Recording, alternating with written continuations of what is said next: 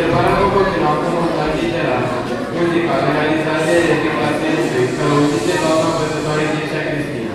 Apoi ca cântece, Mama, de ziua mamei, azi e ziua mamei.